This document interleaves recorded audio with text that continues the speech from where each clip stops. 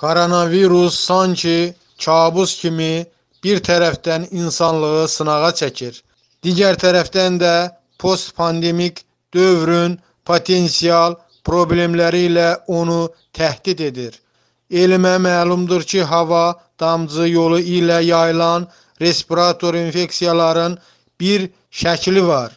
Hər bir yeni yoluxma virusun mutasiyaya uğramış, nisbətən dəyişmiş yeni serovari ilə baş tutur.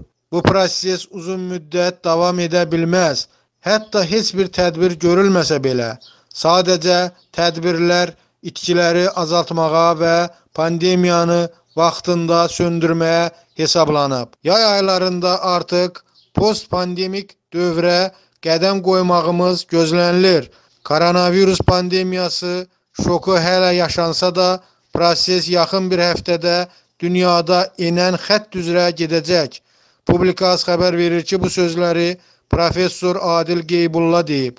O insanları nikbin və səbirli olmağa çağırıb. Xatirimdədir ki, mən uşaq olanda mahalda, obada dul qadın, əlil adam, tənha yaşayan insanlar hamının diqqət mərkəzində idi.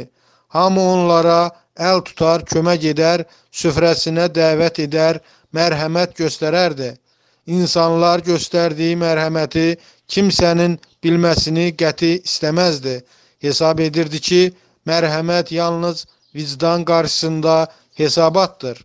İnsanlar arasında onları güvənli edən, insan cildində saxlaya bilən həqiqi bir səmimilik, kişi sözü, etibar, ləyaqət kimi anlayışlar var idi. İnsanlar fədakarlıq və məhrumiyyətlərə sinə gəlməklə şərəf və ləyaqətini hər şeydən üstün tutmağa çalışırdılar.